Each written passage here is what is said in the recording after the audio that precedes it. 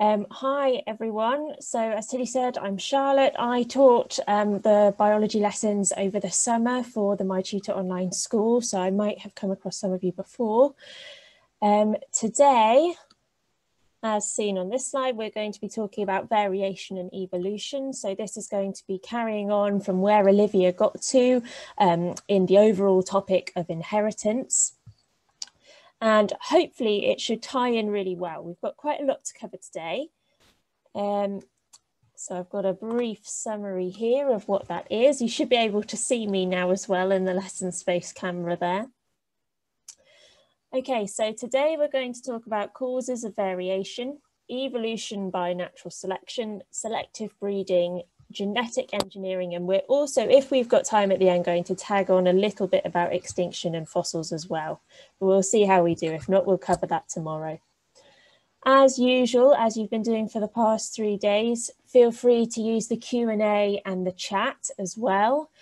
Um, ideally we will keep questions to the q&a and i'll check that at regular points throughout the session um, just to make sure that we catch up with any questions as we go um, and keep the chat as well for any discussion and things that we have. And I'll ask you a few questions and things in there as well. So hopefully we can keep that, that moving too. Okay, so let's carry on today with variation and evolution.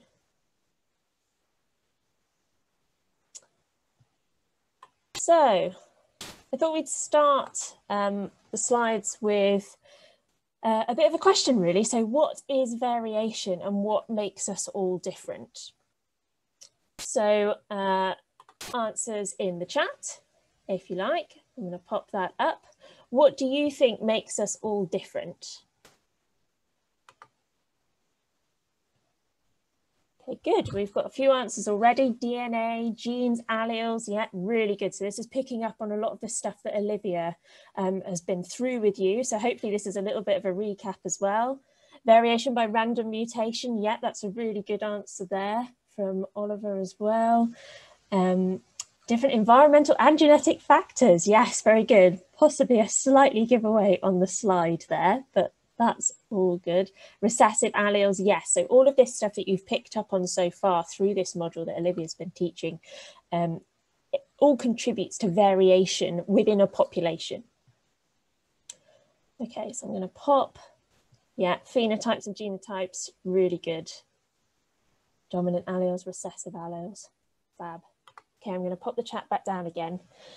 And I wanted to talk about nature versus nurture, which is essentially um, how uh, genetics and the environment affect each of us individually when you consider our phenotypes. So our phenotypes is how we look, our genotypes is our genetic makeup.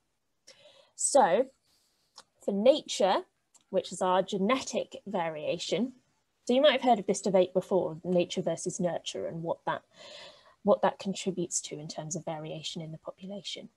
So genetic variation can be within species and between species. Um, so you might already know, but a species is defined as a population of individuals that can interbreed, whereas different species cannot interbreed. Their genetic variation is so different that they can no longer mate.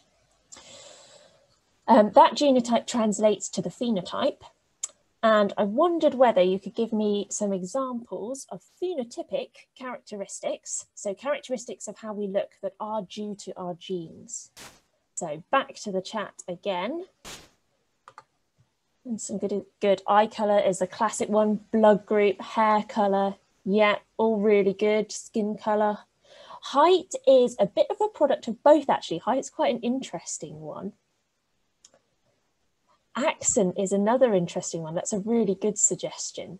So how much of our accent is due to our genetics and how much to our environment?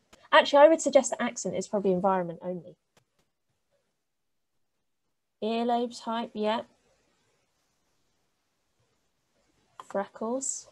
Okay, so then in turn, uh, factors that are due to the environment or the circumstances that we grow up in and how they affect our phenotype. So a good example was accent. that um, just came up. And height as well can be partly due to our circumstances because uh, if you um, have very good levels of nutrition, you're more likely to reach your maximum height than say if you have less to eat and then you might not grow as big. More examples of how yes, weight is a really good one. So weight again is a combination of both. So you can be genetically predisposed to be a bigger person or a smaller person, but your circumstances can help dictate that as well. So how much, again, you have available to eat is a big part of it. How much exercise you do. Those are the two big factors there. Personality, that's a really interesting one. How much of that is due to our genes? Again, that one's a combination as well.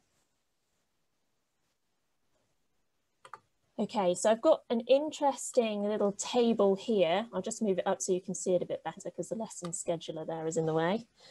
Um, so we've got some differences here in pairs of adults. This was a really cool study that was done on twins. So there's lots of ethics that are involved with working with twins because obviously it's not very ethical to separate twins intentionally at birth and then see what happens to them. But there are cases of twins that have been, say, fostered by different families. And so this study um, looked at the differences in pairs of adults. So we've got four columns there, identical twins that were brought up together, identical twins that were brought up apart, non-identical twins that were brought up together and non-twin siblings that were brought up together. Uh, and the reason they've looked at twins is that uh, identical twins have exactly the same genetic makeup. So they are genetically the same. So their genetic variation is zero.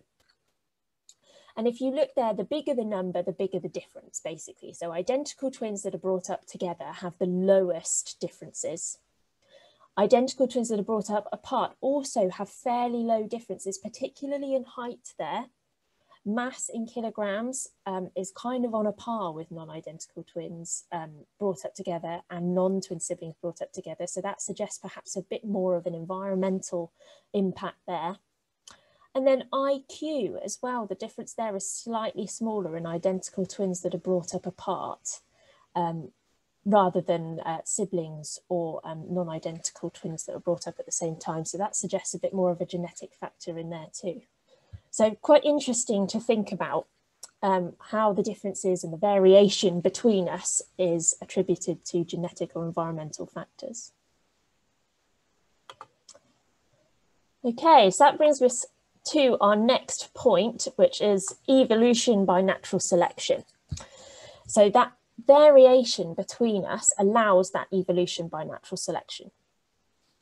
And that is helped along by the mutations that cause that um, genetic variation within a population. So uh, mutations you might have heard of before. I suspect Olivia has mentioned them, if not covered them a little bit more, but just to recap, they're changes in the DNA code.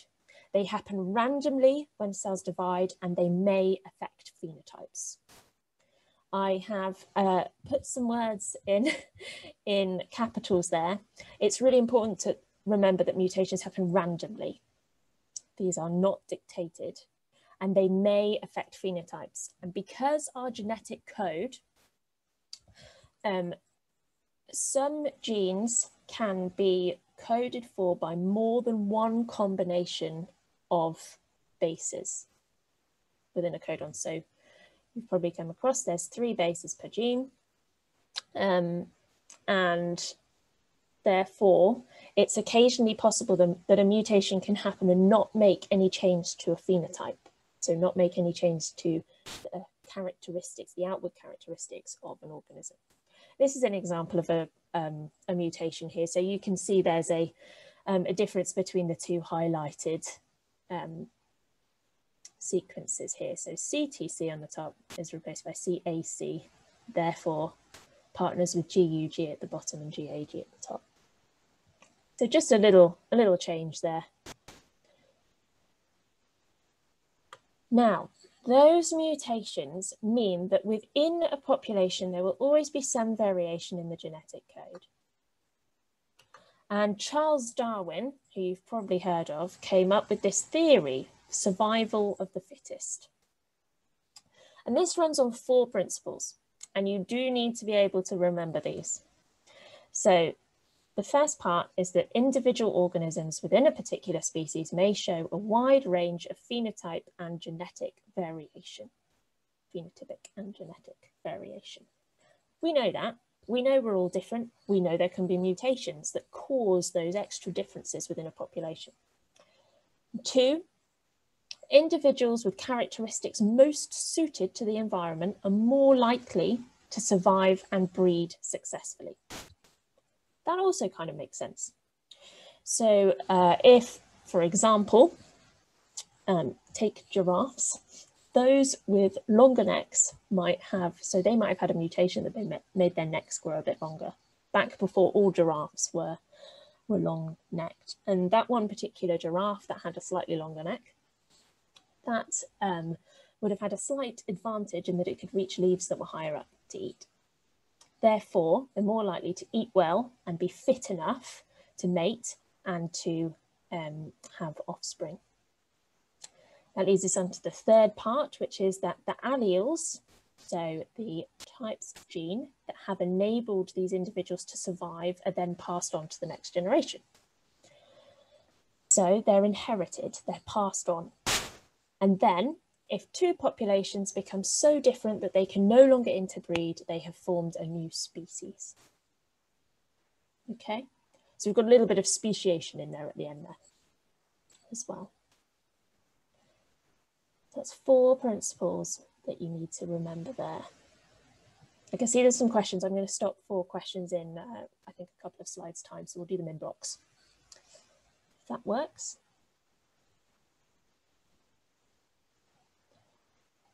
Okay, just going to give you a couple of seconds in case you're copying that down, but we can come back to that.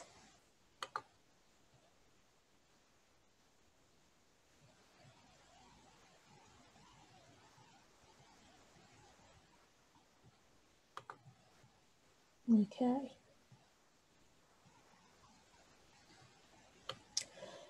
So let's take this idea a bit further. We're all humans. Humans are really good at innovating. And so, having identified evolution through natural selection, we all thought, how can we speed that up? And how can we turn it to our advantage? And the result of that was selective breeding. Selective breeding is artificially selecting which individuals breed and that means that you can select for desired characteristics. So we can select the giraffes with the longer necks. We return to that earlier example. In modern life, this translates to, uh, particularly in livestock, so crops that um, produce a greater yield, that are resistant to disease, animals that produce more meat or milk, so modern cows, they have been selectively bred to produce more milk or more meat, depending on what type of cow they are. Domestic animals as well, so dogs are a great example. Dogs are descended from wolves and back in back in however long ago, humans decided that they wanted to breed wolves that had more um, gentle characteristics. So they became better pets, more loyal, better natured, and good guard dogs was how they started off. So all dogs today are through selective breeding from wolves, basically. Uh, brightly coloured flowers is another one. So the decorative flowers that you see in shops are often selectively bred from wild um, individuals.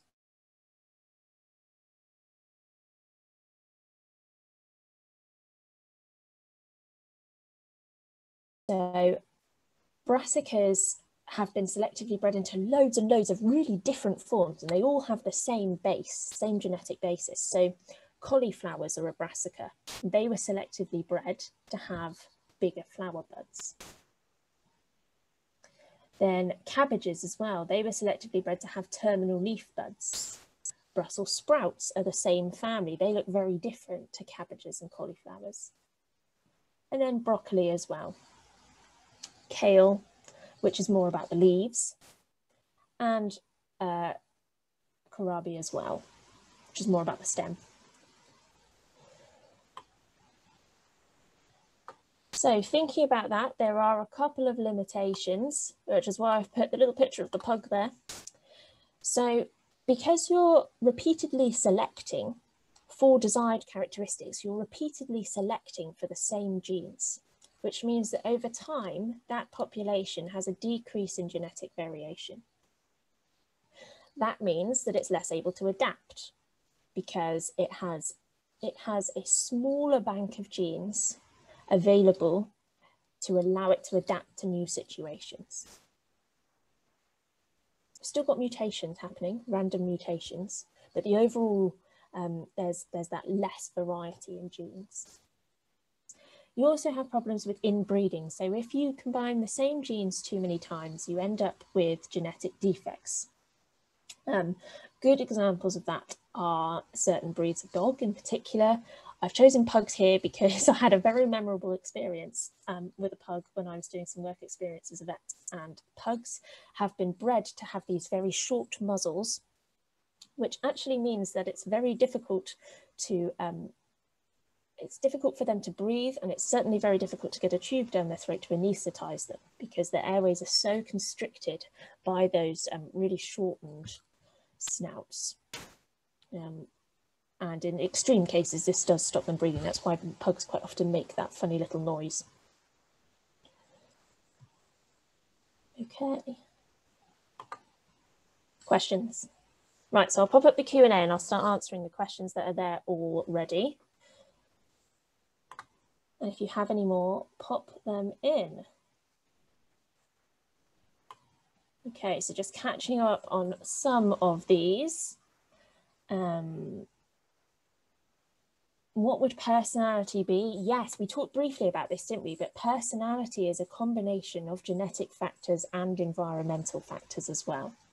So um, some of it is um, contributed to by your genes, so genes do contribute to personality as well but a lot is dictated by how you you know the circumstances in which you grow up and the environment that you grow up in as well so personality is a really interesting combination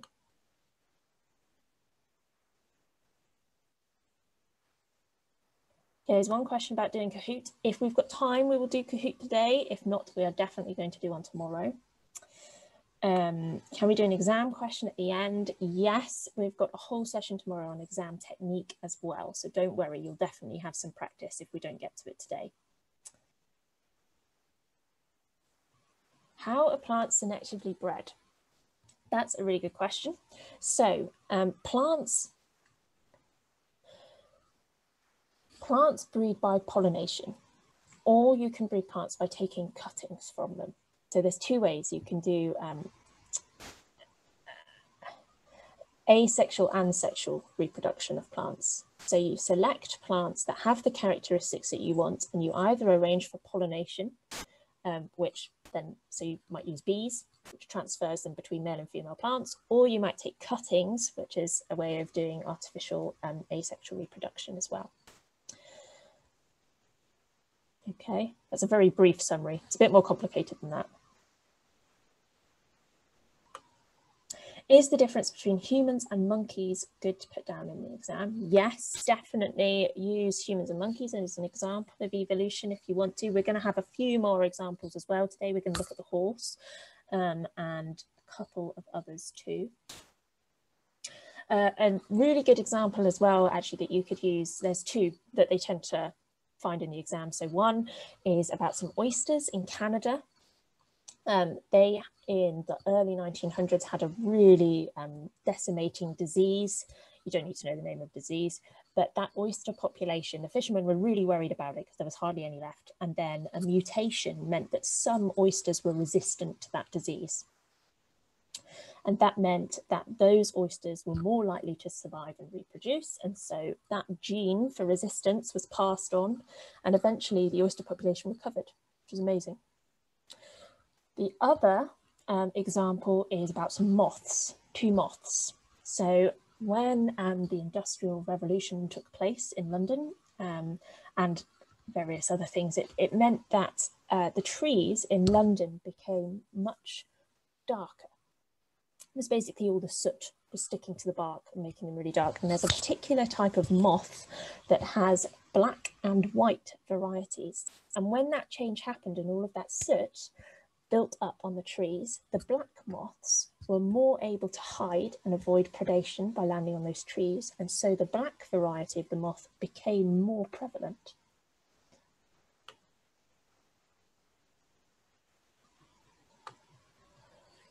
Okay. Uh, are blue eyes a mutation? That's a really um, good question. They,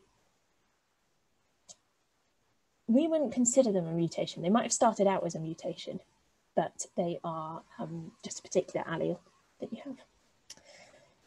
Oh, I'll answer the question about my university course some other time because I'm aware that we've got quite a lot to do today, but it was really, really interesting and I'd really recommend it.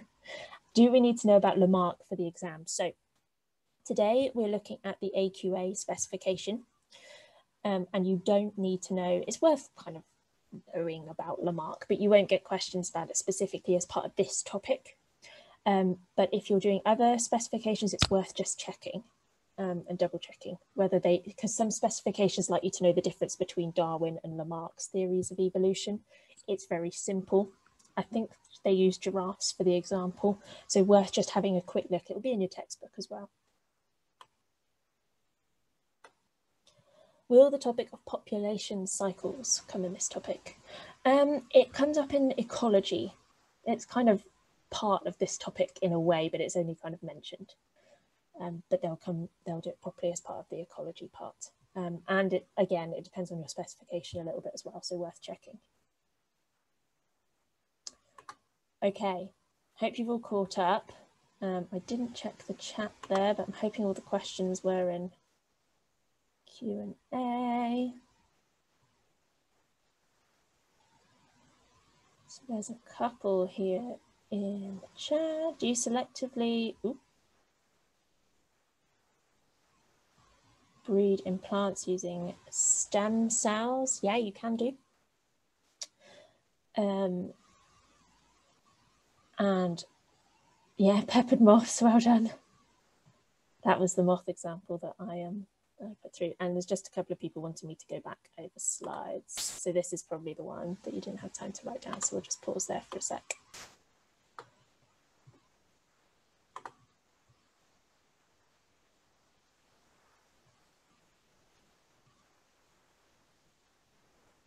couple saying that they're on different specifications. All of this is relevant across all of the different specifications. If you're doing Edexcel, OCR, AQA, um, WJEC is the Welsh one, whatever you're doing, this kind of information will come up. It's a core topic across all of them. It's just the specific examples that differ across them. So it's just worth checking your textbook for those. Okay, I think I'm going to move on now.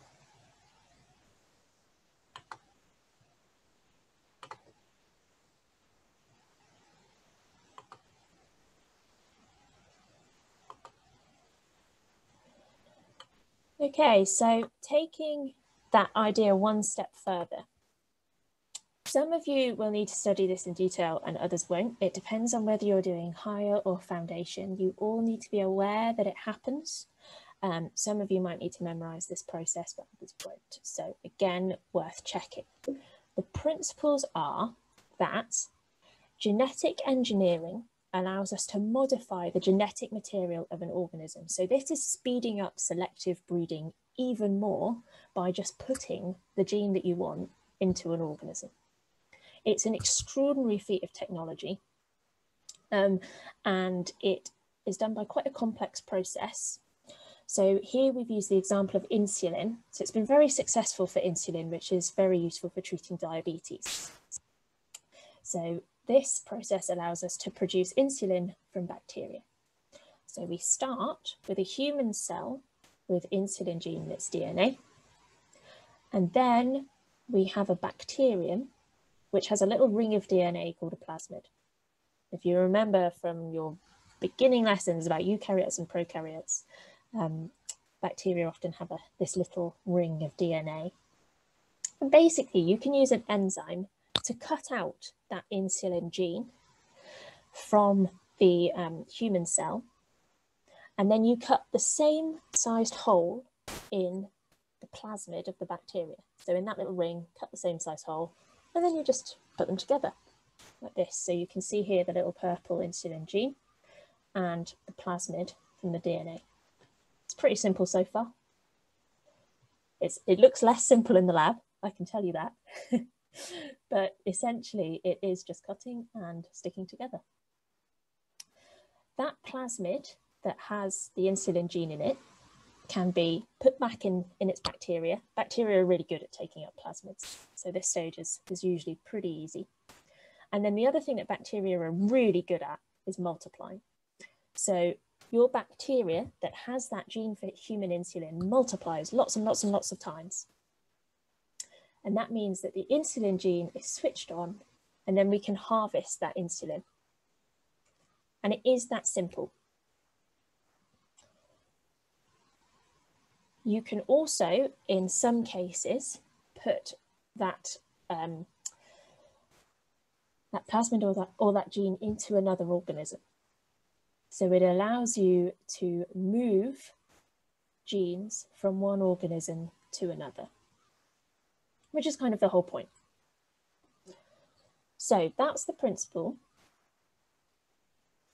What do we use it for? Some examples. So genetically modified crops are the best examples of these. In the chat, what characteristics do you think would be best for a GM crop? If you were a farmer, what would you want your crop to do?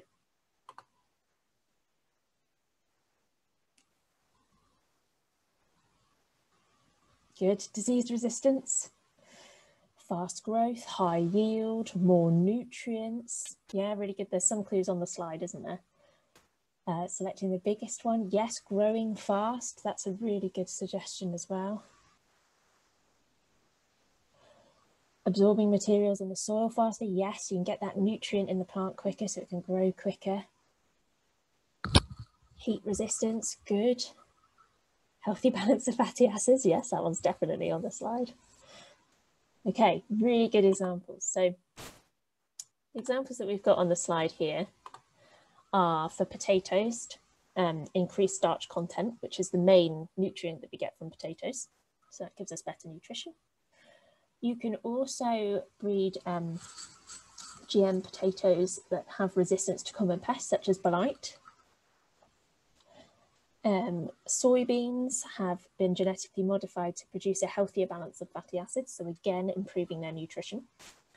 There are rice plants that can be submerged in water for three weeks to withstand flooding without compromising the crop. Rice is um, rice is the main crop for quite a large number of countries across the world. Actually, it's a really really important crop for food security. So with climate change, we're seeing more um, extreme weather events. Flooding is more likely. So we need plants that can withstand being underwater for longer and still produce a really good crop so that we don't have more people going hungry. Uh, I've got another example there of grasses that absorb and break down explosive material in soil. That's a slightly more um, kind of sci-fi adaptation. Another really good example that I read about is there were some scientists at Edinburgh University that basically managed to insert a jellyfish gene into potatoes. And that jellyfish gene um, emits a little glow you can't see it with the naked eye, but it can be read by machines. And so when the potatoes are short on water, they glow using that jellyfish gene. And the irrigation equipment that the farmer uses knows that it needs to water those potatoes. That's crazy. That is just the most amazing example of technology and genetic modification being used to, to um, well, try to save our resources and help with food security, I suppose. So some really good examples there of how crops can be genetically modified.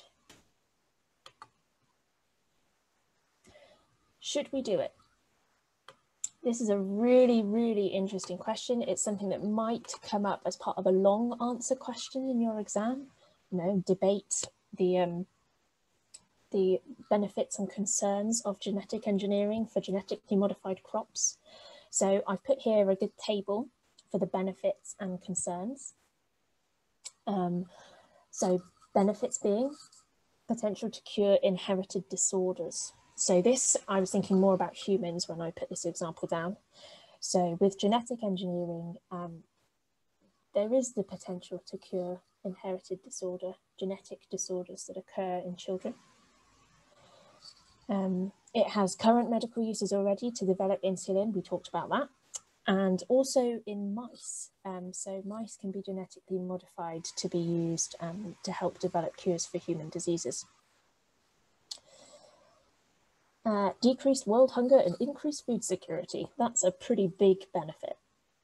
We have more and more people in the world. It's a big part of my job is working out how to feed um, people sustainably in the UK.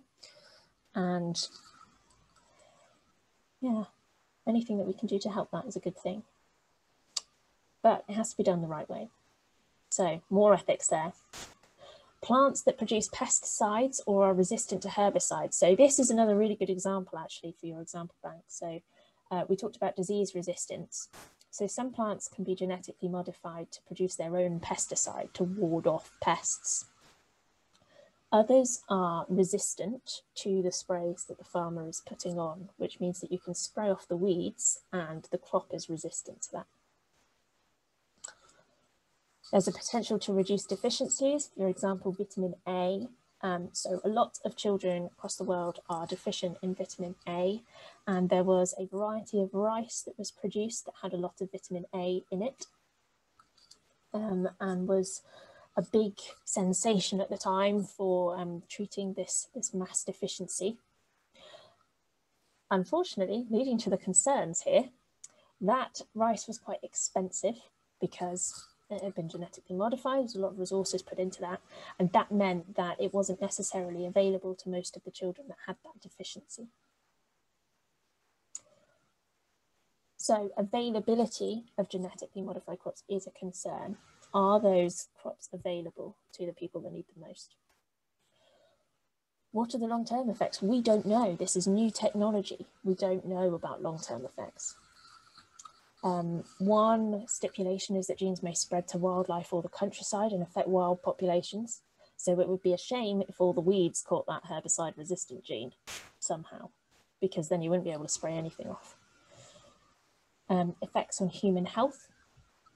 We don't know whether genetically modified organisms might have an adverse effect on human health.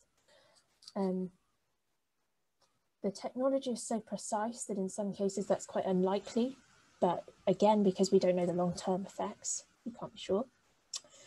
And there's also ethical concerns about human engineering in particular. So we talked about the potential to incur inherited disorders, potentially in um, fetuses does that mean that we would then be producing designer children?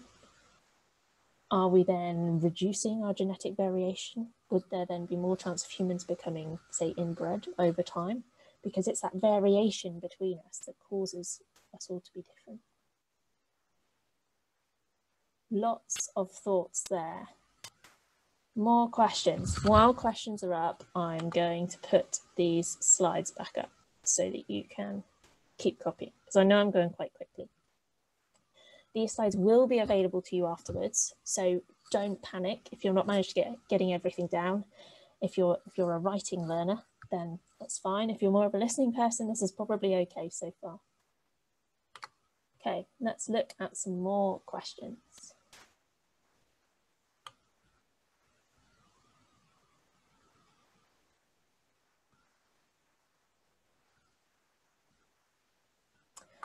what does harvesting the insulin mean? Okay, that's a really good question. So you might not come across this in your lessons yet, but insulin is um, one of the things that we need to treat diabetes. So depending on what type of diabetes you have, you may need to inject insulin into yourself to keep your body's sugar levels um, stable. Something that you will learn about in homeostasis. So insulin is a major um, a major need for anyone that has diabetes. And so producing that insulin normally takes an awful long time. But if you genetically engineer those bacteria, you can do it a lot quicker.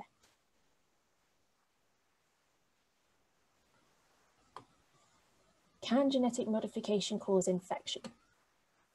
So that's a really interesting question. So infection normally comes from like a wound and because this is genetic modification, it doesn't have like a wound as such. It's not like you're cutting someone open and putting a gene in them. It's, it's more to do with um, altering cells.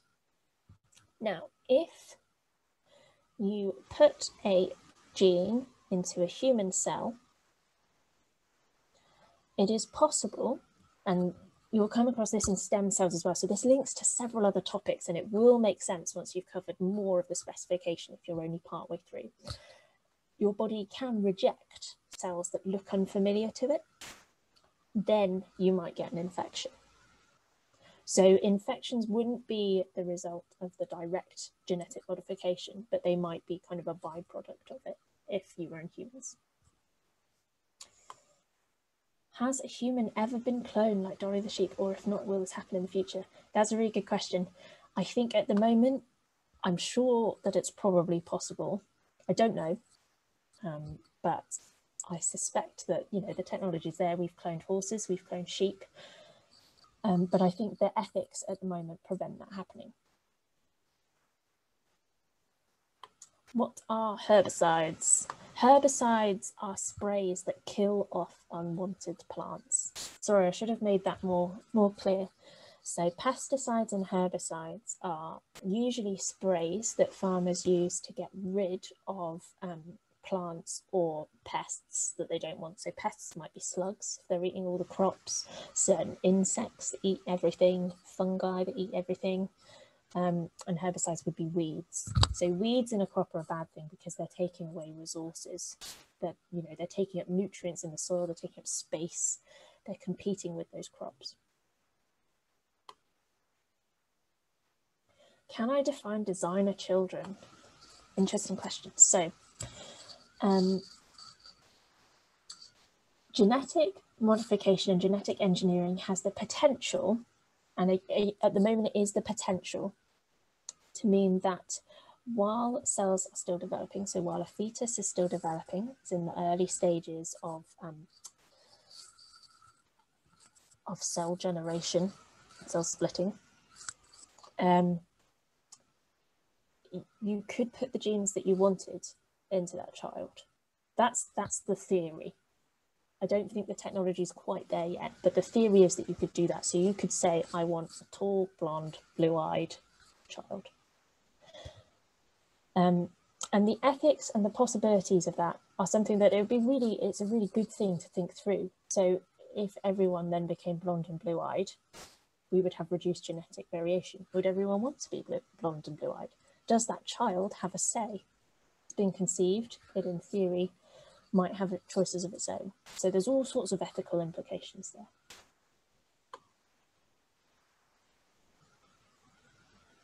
Can diabetes be cured if the right cells are produced using stem cells? Would this be possible in the future? Yes, and that does come up in the stem cell section and in the diabetes section as well. Um, so stem cells are something that they're really exploring because in theory you can use stem cells, um, turn them into insulin producing cells and replace those defective cells that are in the body already. So yeah, lots of people asking about that. So yeah, stem cells is another um, possibility, but genetic engineering has kind of helped in the meantime while that's developing. How do they test that GM crops are safe for human or animal consumption? So there's lots of testing that goes into that, um, kind of similar to drug testing in a way. Mm. Is it expensive? Yes.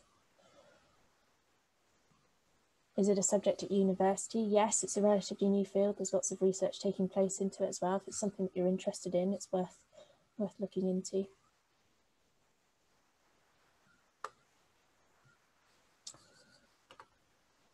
To the insulin slide there. Do you have any recommendations of medical journals that are good to read if you want to go into medicine or veterinary medicine? Um, it's not exactly my field because I'm more of an ecologist, but um, if you Google um, medicine journals or veterinary medicine journals, the, the major ones will come up. It's worth looking at. I know there's the there's the British Vet Society or Veterinary Medicine Society or something like that, and they may well have a journal attached to them.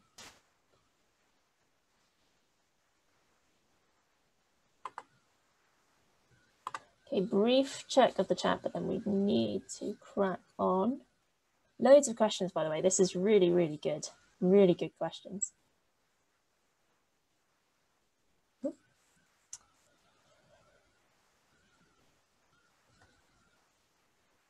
A couple of questions about the exact questions that you might get about this topic. We have got a whole hour tomorrow dedicated to exam techniques, so I will run through the different types of questions that you might get and how best to answer them.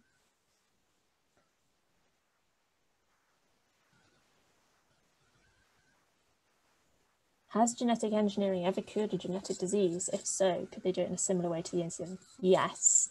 There are a couple of examples there. Some of them might be in your textbooks, depending on your specifications. So I think sickle cell anemia is one of them.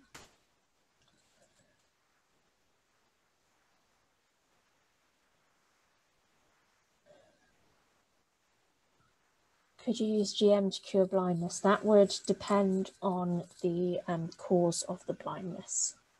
Michelle. So if it was genetically um, caused, then potentially there's a possibility, but you need to consider all of the implications there. So yes, if it's a genetic possibility, is it just one gene? Is it many genes that are involved in that? So how difficult would that engineering be? And then you've got to consider getting that um, that modified gene into the body. So again, that's stem cells usually. So usually it's better when, when an organism is developing, which is why there's all the talk about embryo um, modification using embryonic stem cells because they can turn into anything. Adult stem cells, as someone else has pointed out here, Addy, yes, they can be used, but as you probably know if you've studied them before, adult stem cells have the potential to turn into fewer options. So they can only be used in certain cases. Okay. Sorry guys, let's crack on a little bit more.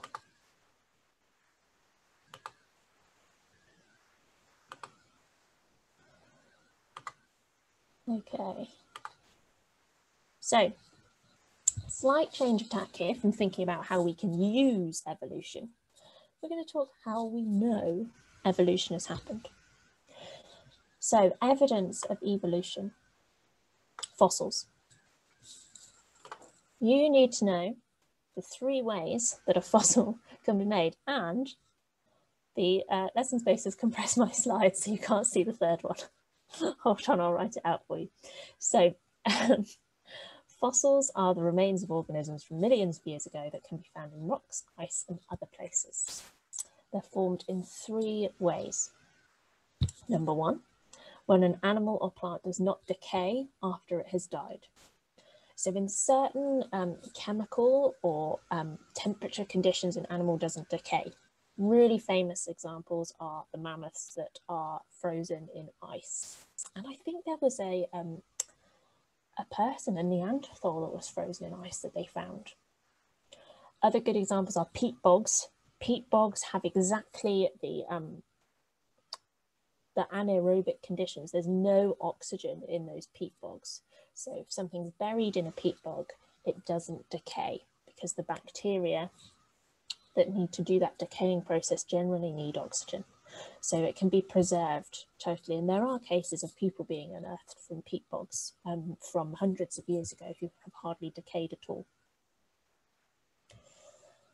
They had died first prior to going into the peat bog, I think. um, the classic thing that we think of when we think of fossilization is when the harder parts of the animal, so the bones, are replaced by minerals as they decay and become part of the rock. So there's a little schematic there about that. I'm aware that you can't see the, the text particularly, but you don't need to know it. You can just see that they've used a dinosaur here because dinosaur fossils are the most um, famous. So the dinosaur here um, the flesh rots and decays. So bacteria break that down and then it goes away. It's recycled into nutrients in the soil. And over time, um, the skeleton is covered in sand or soil um, before the skeleton is damaged. And over millions of years, that skeleton becomes preserved in the rock. So it becomes mineralized and then becomes part of the rock.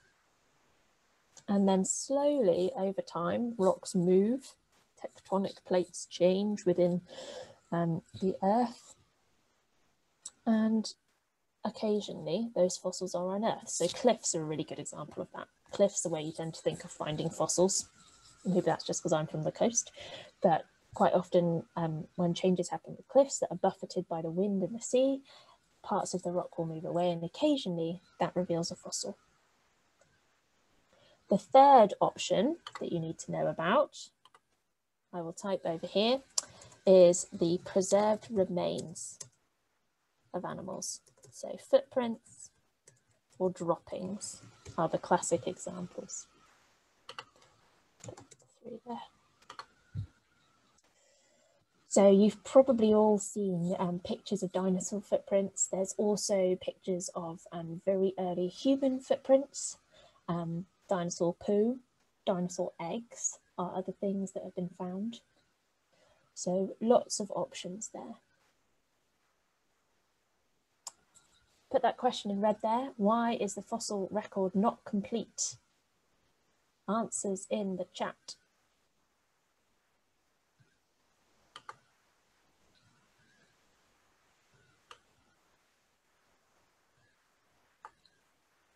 What reasons can you think of that the fossil record is not complete? Good, you may not find all the remains, or everything is fossilized. yet, exactly. So soft tissue, particularly like soft animals, um, animals that don't have skeletons, they very rarely fossilized. Generally, you find them, like, you know, the insects in amber, or occasionally they find things like pollen frozen in ice. Yeah, exactly. Um, they may have been destroyed. So there's lots and lots of fossils that are never found. Destroyed by geographical activity, yeah, exactly. And also, you know, the conditions for fossilization, it needs to be around long enough to start to become mineralized and to become rock rather than just being in the soil. I mean, that's that takes a, a chance set of circumstances for that to happen. Great, some really good ideas there.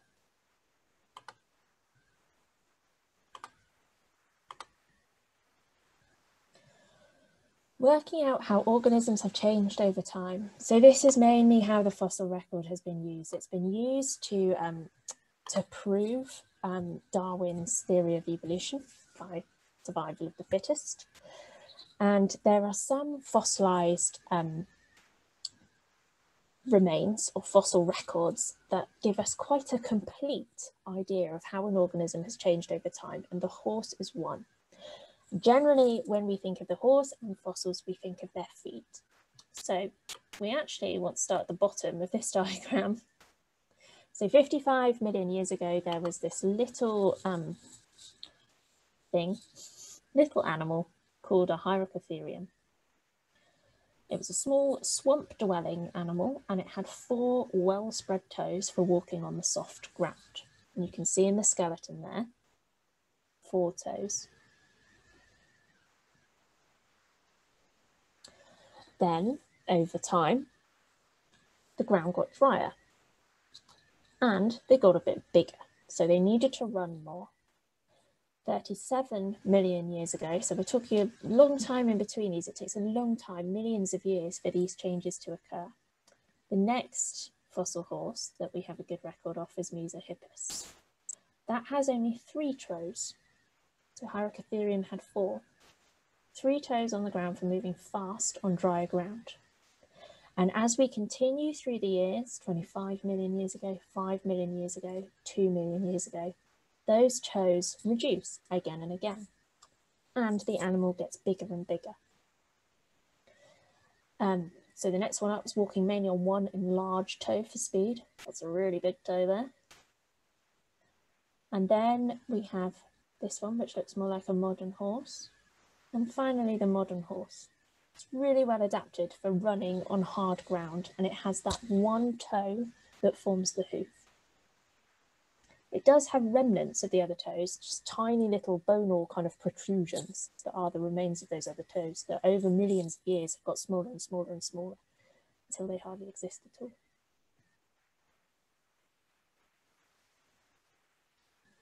Okay.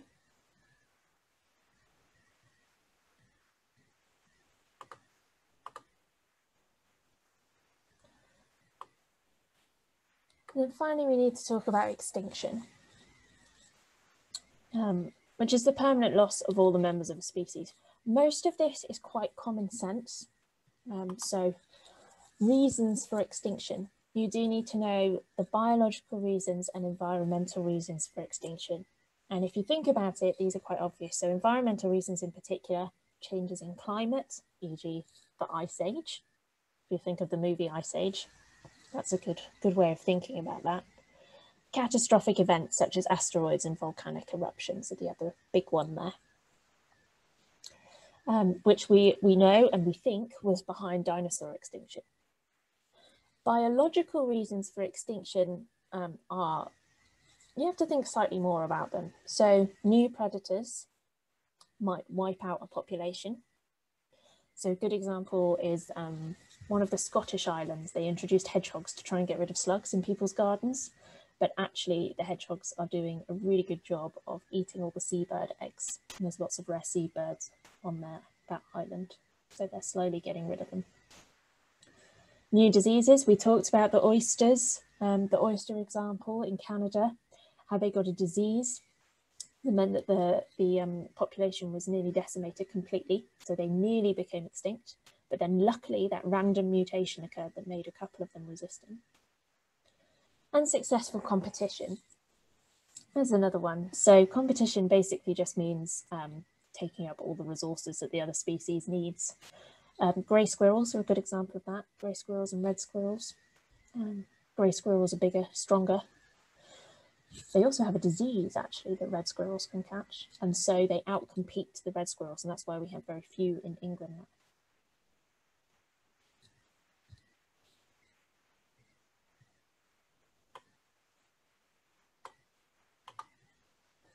Okay, got a case study there about dinosaurs, and then I have one more slide. Oh no, that is it. Okay, let's talk about dinosaurs real quickly and we'll come back to that tomorrow as well. So dinosaurs were the most recent mass extinction event. And there are a couple of theories about how that happened and whether it was, or what environmental reason was behind it, basically. So the first theory is that a giant asteroid collided with the Earth and formed a huge crater in Mexico about 65 million years ago. The resulting fires and earthquakes darkened the atmosphere so plants and animals could not survive.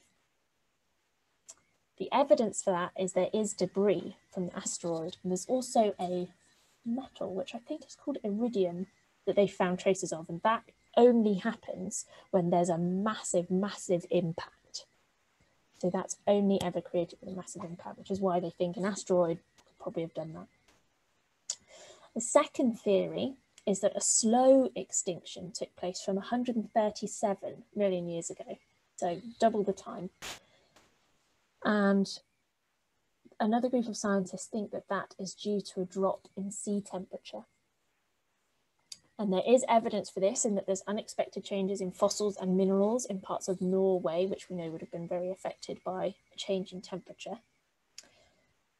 Um, and so this is quite a good example of how evidence can be interpreted in different ways and how fossil evidence can only ever provide part of the evidence needed. We're getting better at finding evidence. There are chemical methods now, um, and to some extent we can use DNA occasionally on, on things that are really well preserved. Okay, we've got a couple of minutes left. I'm aware that we haven't had time for a Kahoot today. We are going to do one tomorrow. So tune in tomorrow for a quiz. Um, the other things that we're going to talk about tomorrow are antibiotic resistance, because it's a really good example of everything we've done today. So we're going to use it as a bit of a recap. And then we're also going to talk about classification of organisms, which is what's on your schedule. Um, so we're going to do that, and then we'll do some past exam questions as well. And we are also going to talk about exam technique. So a really good session to, um, to attend if you're looking at what kind of questions will be there in, in your exam. And I'll talk you through the best ways of approaching them and answering them so you don't get too stressed and so you make the most marks um, in those questions. Okay, a couple of questions before we go. I can see there's quite a few in the Q&A. Ooh, in the future, would it be possible to grow organs such as a heart? It is possible already. It's not quite there yet, but yes, in theory, you can use um, stem cells to grow organs. If a human is preserved in ice from a long time ago, how does this affect the body? Um, the sheer pressures of it being in ice means that there's been an awful lot of force on it. So they're still not, you know, it's not like pulling, you know, you or I out of ice. It's still, there's quite a lot of structural damage. Um, but in some cases, it is possible to get DNA from specimens that are preserved in ice. So it is remarkably good at preserving.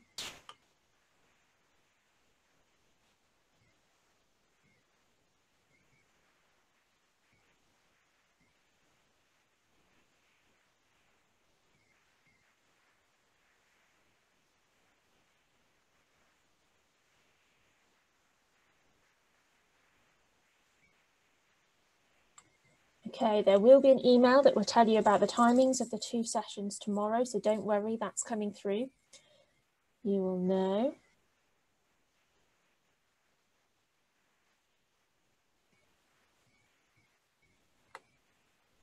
Are scientists bringing mammoths back to life? I think there's been talk of it. I don't think they're quite there yet. I don't think they've got enough DNA.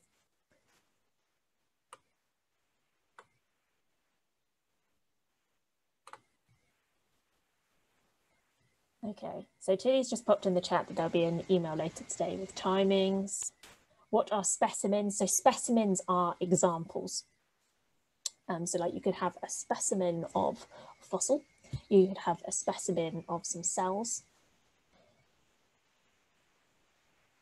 Okay. What happened? What time does this lesson end? it ends in about 30 seconds. I'm just going to run through any questions that I haven't answered. If you have got some, do bring them tomorrow if I haven't managed to answer them, because there will be more time tomorrow as well.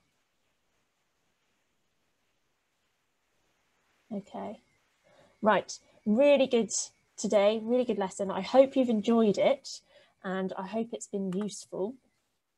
Um, as Tilly says, you will receive an email about timings tomorrow um, and we'll finish the content tomorrow and then we're going to do exam technique. So it'd be really good to see you there. Um, have a good evening and hope to see you tomorrow.